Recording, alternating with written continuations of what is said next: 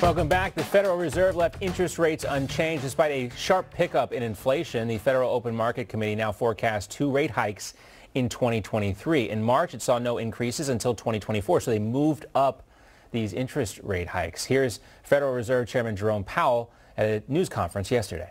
It's, it's good, actually, to see inflation, longer-term inflation expectations move back up to a range. It's a range that's consistent with uh, what our objectives are. These are not precise measures, and that's and they they contain uh, risk premiums of various kinds, and that's why we look at a broad range of them and tend to look at the movement of that broad range of uh, of, of indicators. Jerome Powell and Janet Yellen both kind of downplaying the threat of inflation. Here's how the markets closed yesterday after the Fed's announcement. Government bond yields also rose as investors anticipated tighter Fed policies. Let's talk about inflation and all this stuff and what it means for your bottom line with our Money Huddle team. Welcome in now Seth Denson, author of The Cure, a blueprint for solving America's healthcare crisis. Also with us, Dan Geltrude, America's accountant. He's the CPA and founder of Geltrude Company. Gentlemen, great to see you again. Hey, John. Good to be here, John. All right. Heather is no is not here today. She is on the road, but she will be back next week. Uh, and you know, there there are always ways. There's always a buyer and a seller when things are going kind of crazy like they are right now. But I want to talk about two places, guys, where we see investors really showing a lot of interest. That's in the bond market and uh, the meme stocks we're hearing so much about. Uh, Dan, first to you. Uh, what do you like better, bonds or meme stocks? Well, let me start by saying this. I don't like meme stocks. Uh, to me, that's all about just gambling. There, to me, is no financial substance behind that. Uh, people start chasing these stocks based upon what's going on in Reddit or Twitter. So that is not for me. So by default, even though bond rates are not uh, necessarily great. And with rising inflation, bonds are not exactly where you want to be. Given those two choices, I would go the bond route at this point.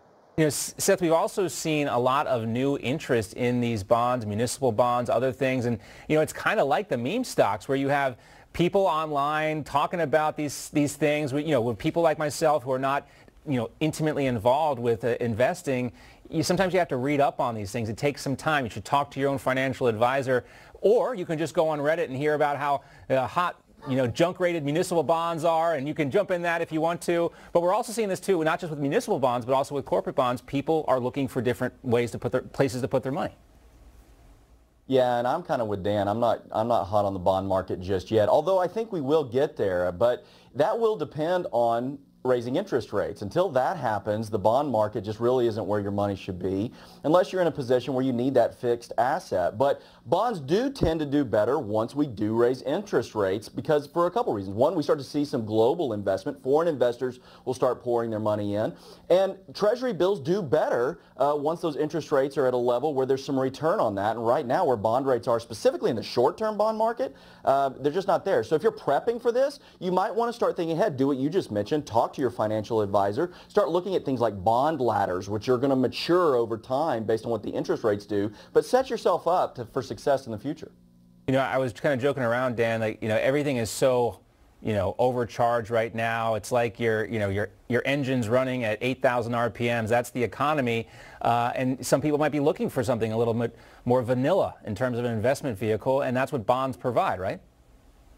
Yeah, they do. But look, the whole point about we are in an inflationary period, and I believe it's not necessarily transitory because the policies that are coming out in Washington are causing a lot of this. Mm. So unless those policies change, we're going to be dealing with inflation for a while. So people have to think through how do you stay ahead of the inflation curve, which means you're not sticking your money in the bank eh, eh, with a CD. You're not going with a bond with a, a fixed rate.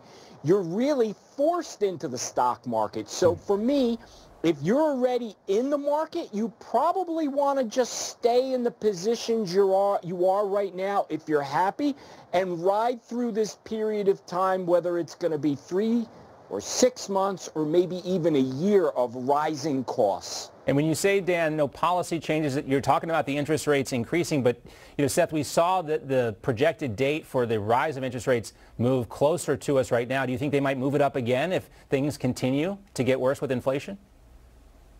Yeah, you know, I don't know that they'll move it up. They should. If you want my opinion on it, I think they should. I think uh, looking into 2022, maybe one, I'm hearing now two interest rate hikes. I wouldn't mind seeing a quarter point, half point before the end of the year. I think it's necessary with as much cash as that's in the market and the liquidity that's there. We need to start moving the needle back to a stabilized economy and start hedging against this inflation. And right now, the Fed doesn't seem to want to do that. Paging Paul Volcker. Paging Paul Volcker for those interest rate increases. Guys, great to see you.